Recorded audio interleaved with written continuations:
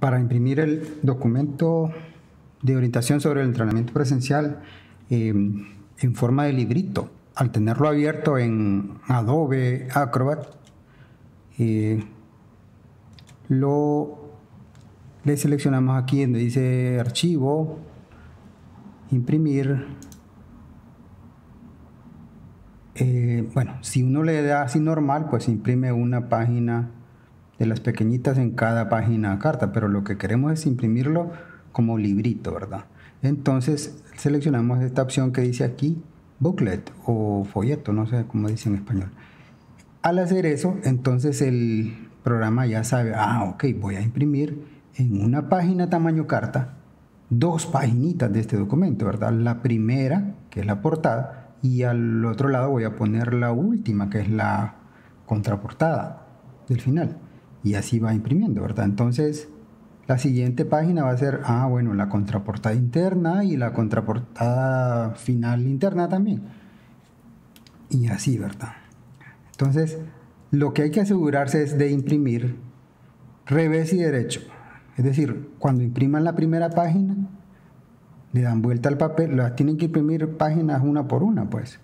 O decirle que imprima solo las impares primero y las pares por último asegurándose de poner el papel en la impresora para que imprima en el reverso de, la, de cada una que corresponde. Esta es una, la siguiente es la que va atrás de la primera y así, ¿verdad? Sucesivamente. Ahí solo se le da aquí print y eso es todo. Entonces, cuando ya se tiene el documento impreso, agarramos las páginas, las colocamos en el orden que deben ir, ¿verdad?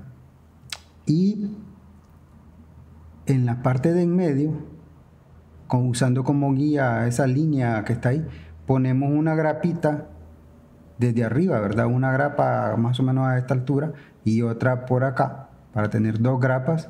Le damos vuelta al documento, ve, perdón, al librito y apachamos las puntas de la, de la grapa, ¿verdad? Y después doblamos como corresponde para que quede armado el librito. Y obviamente como no es una imprenta, pues les va a quedar la parte de afuera o tal vez las orillas como que no les va a quedar cabal, porque así un poquito más salidas unas que otras. Bueno, ahí lo que basta hacer es refilar la orilla, ¿verdad? Si tienen una guillotina, pues solo se pone, le corta un pedacito ahí a un lado, al otro lado y al otro. Si no tienen una guillotina, pues con una regla y con mucho cuidado, con una navaja filosa, ponen la regla un poquito adentro, unos 3-4 milímetros, y cortan todas las hojas de un solo y acá después la parte del borde externo y la parte de abajo. Eso sería todo.